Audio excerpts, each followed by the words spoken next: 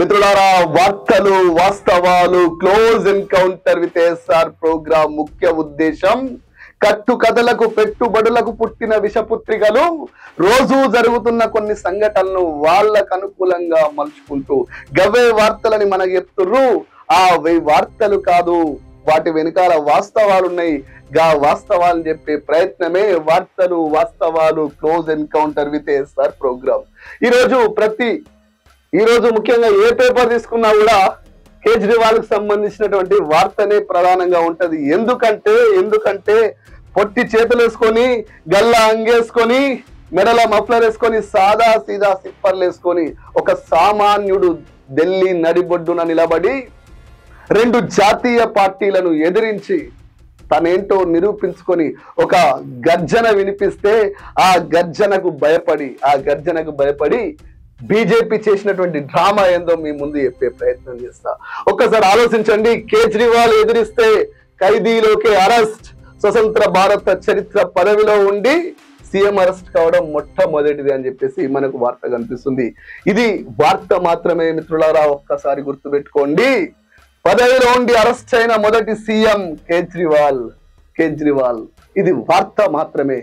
దీని వెనుక ఉన్న వాస్తవం ఏందో తెలవాలి కదా? ఖచ్చితంగా చెప్తాను మిత్రులారా ఒక్కసారి గుర్తు పెట్టుకోండి ఒక్కసారి గుర్తు పెట్టుకోండి ఇది నేనొక్కనే కాదు రేపు భవిష్యత్తు రేపు భవిష్యత్తు బీజేపీ మీద బీజేపీ చేసిన కుట్రల గురించి మాట్లాడే రోజు వస్తుంది. ఎందుకంటే ఈ దేశంలో అవినీతి జరుగుతుంది అవినీతికి వ్యతిరేకంగా వచ్చినటువంటి కేజ్రీవాల్ పేద కొట్లాడే శక్తి లేక దమ్ము లేక రెండు జాతీయ పార్టీలు కాంగ్రెస్ అండ్ బీజేపీ రెండు జాతీయ పార్టీలు ఈయనను ఎదుర్కొనే మగతనం లేక వేట కుక్కల్ని పంపించి వేట కుక్కల్ని పంపించి అరెస్ట్ చేసి చూడు ఇది రేపు దేశం వ్యాధి పెట్టుకుంటుంది. ఎందుకు అరెస్ట్ చేశారు అంటే ఒకటే ఒక్క రీజన్ ఒకే ఒక్క రీజన్ ఏంటో తెలుసా మిత్రులారా? ఈయన డైరెక్ట్గా ఎదుర్కొనే దమ్ము లేక. ఈయనను డైరెక్ట్గా ఎదుర్కొనే దమ్ము ధైర్యం లేక వీళ్ళు చేసినటువంటి డ్రామా మాత్రమే డ్రామా మాత్రమే. మిత్రుడారా గుర్తు పెట్టుకోండి ఈయన ఆమ్ ఆద్మీ పార్టీ పెట్టినాక రెండు వేల పదిహేనుల ఢిల్లీలో డెబ్బై సీట్లుంటే అరవైకి పైగా సీట్లు తెచ్చుకొని కాంగ్రెస్ బీజేపీని తూర్చి అవతల పడేస్తే గాఢ నరేంద్ర మోడీకి మండింది. అలాగే రెండు వేల ఇరవైల సేమ్ కథ సేమ్ ముచ్చట.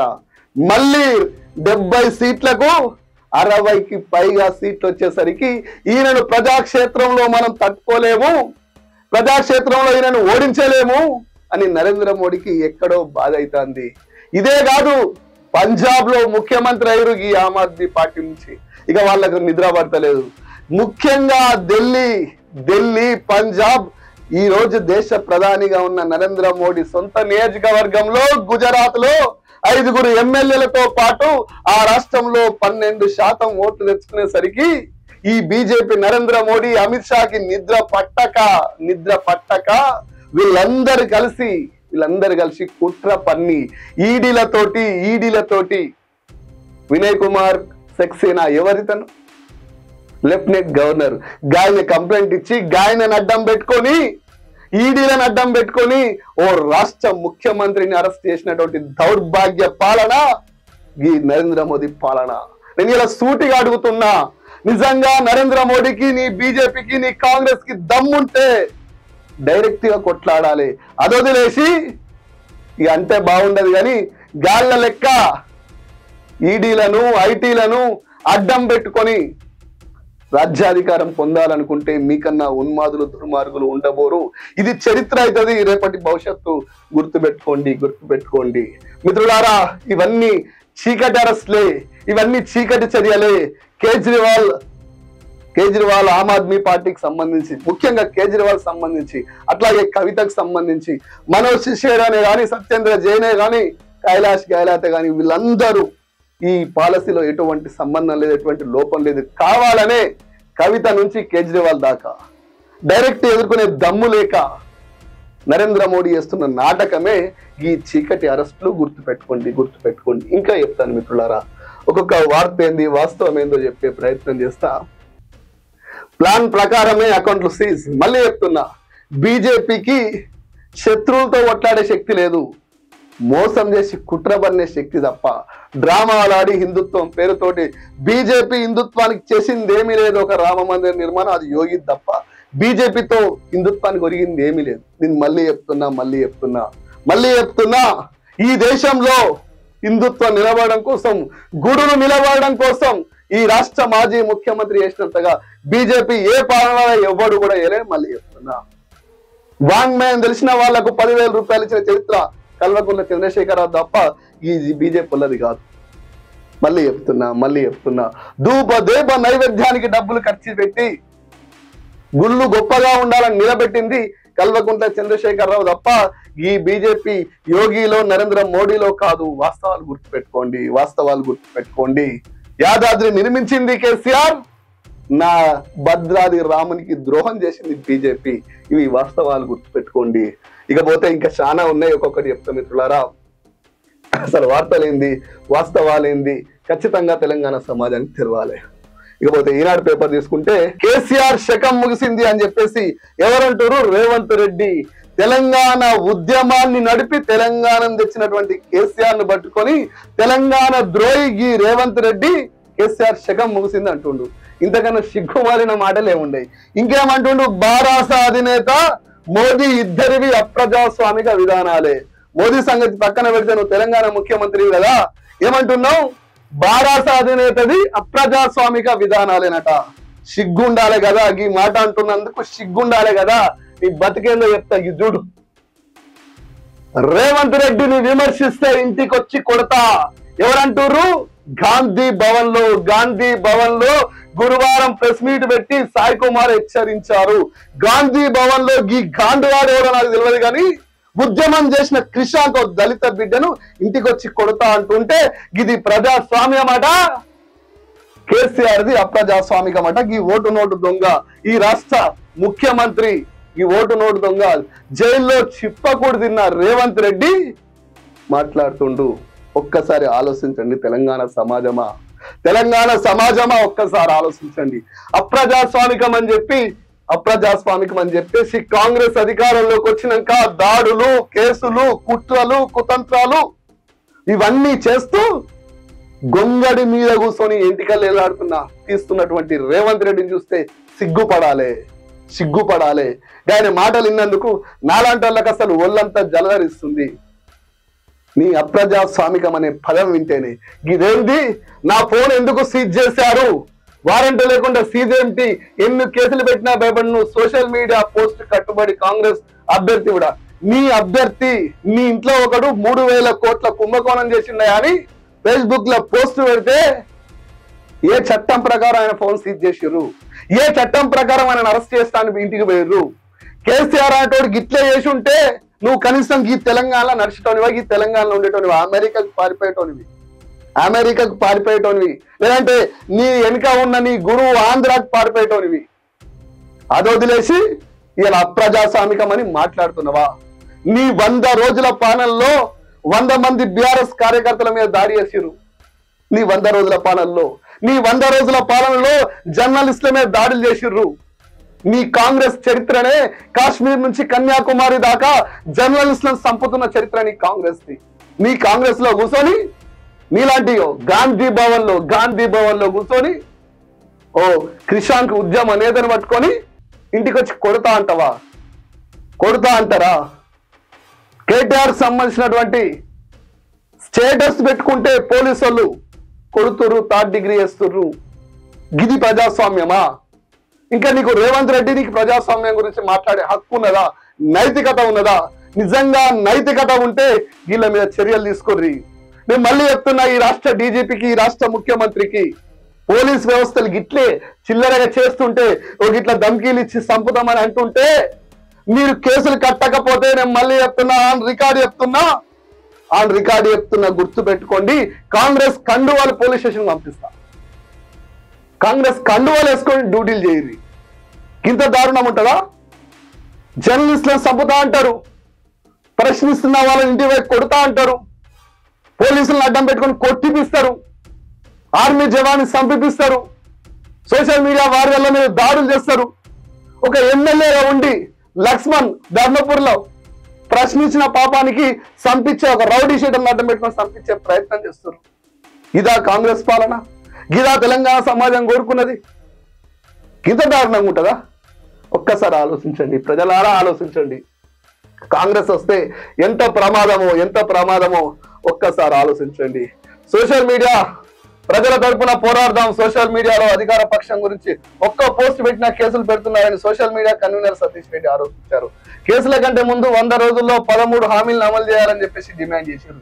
హామీలను హామీలను అమలు చేసే దమ్ము వీళ్ళకెక్కడిది? సతీష్ భాయ్ ప్రశ్నిస్తున్న మీద కేసులు పెట్టాలి. నాలాంటి వాళ్ళ మీద దాడి చేయమని పుడిగొల్పాలి సిగ్గుండాలి కదా. ఇదెక్కడ అన్యాయము?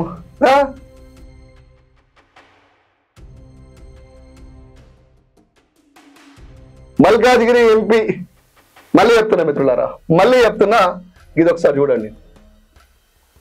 మూడు వందల కోట్ల స్కామ్లో దాన్ని ఖచ్చితంగా నువ్వు ఆన్సర్ ఇవ్వాల్సి వస్తుంది. ఖచ్చితంగా ఖచ్చితంగా నువ్వు మళ్ళా జైలు కూడా అవ్వాల్సి వస్తుంది త్వరలోనే నువ్వు గిట్ల చేస్తే.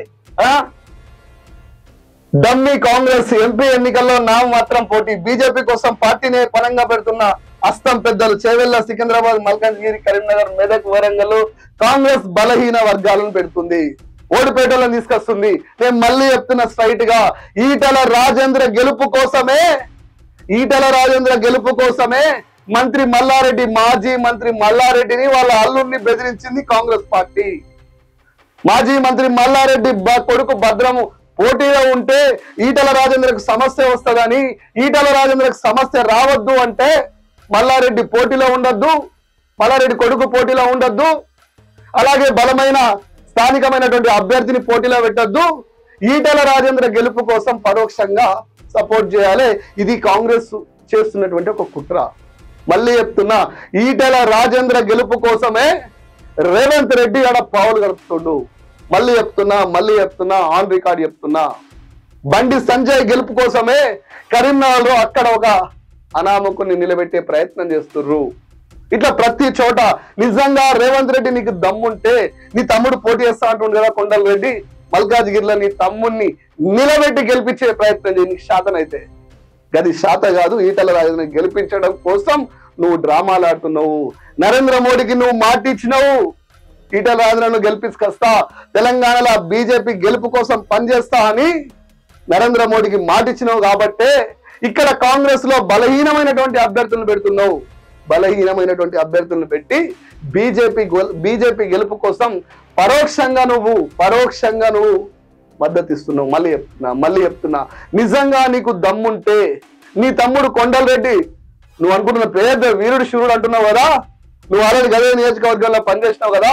నీ తమ్ముడిని నిలబెట్టి మల్కాజిగిరిలో గెలిపించుకో చూద్దాం. నువ్వు ఈటల రాజేంద్ర గెలుపు కోసం పనిచేస్తలేవని నమ్ముతాం తప్పుడు నేను ఆ రోజు చెప్పినా ఈ రోజు చెప్తున్నా ఈటల రాజేంద్ర గెలుపు కోసమే రేవంత్ రెడ్డి కాంగ్రెస్ పనిచేస్తుంది. గుర్తు పెట్టుకోండి మీరు మళ్ళా మళ్ళీ గుర్తు పెట్టుకోండి ఇది కాంగ్రెస్ భారతీయ జనతా కాంగ్రెస్ పార్టీ. ఈ రెండు పార్టీలు వేరు కావు. వేరు కావు కావు కానేరవు బలహీనమైనటువంటి కాంగ్రెస్ అభ్యర్థులు పెట్టుకొని బీజేపీని గెలిపించడం కోసం రేవంత్ రెడ్డి ఢిల్లీకి పోయి మాటిచ్చిండు గుర్తుపెట్టుకోండి మిత్రులారా గుర్తుపెట్టుకోండి. ఢిల్లీ సీఎం అరవింద్ కేజ్రీవాల్ మనం ఆల్రెడీ డిస్కస్ చేసినాము. రేవంత్ తుమ్మల లొల్లి నిజమేనా? గాలొల్లి కాదు ఫస్ట్ మైనంపల్లి హనుమంతరావు గారు ఒక్కసారి ఆలోచించండి. పక్కన ఉన్న ఆమె ఎప్పుడన్నా మల్కాజిగిరిలో వచ్చిందా? ఆమె గెలుస్తాడా? గంత వీక్ అభ్యర్థిని ఎందుకు పెడతారని నువ్వు అడగచ్చు ఆయన ఆ మైనంపల్లి హనుమంతరావు గారు. రేవంత్ రెడ్డిని అడిగితే నేను ఏమన్నా అంటాడా? వాళ్ళ తమ్ముడిని నేను ఏమన్నా భయపట్టిస్తాడా? గది అడుగు ఫస్ట్ నువ్వు. నీడగాడ మాటలు మాట్లాడు కాదు. ఇంత వీక్ అభ్యర్థిని ఎందుకు పెడుతున్నావు? అవును నువ్వు మొన్ననే ఈటల కలిసి వస్తావు కదా మర్చిపోయి ఈటల మొన్న నువ్వు కలిసి వచ్చినావు. రాజేంద్ర అన్న నీ గెలుపు కోసం కాంగ్రెస్ వాళ్ళు పనిచేస్తారని హామీ కూడా ఇచ్చి వచ్చినట్టున్నావు వాస్తవంగా నేను నిన్ను అడుగుతున్నా అది తప్పు. మూడు వందల కోట్ల మూడు వేల కోట్ల స్కామ్లో సీఎం రేవంత్ రెడ్డి ఫ్యామిలీయా? బీఆర్ఎస్ నేత క్రిషాంక్ సంచలన ఆరోపణ.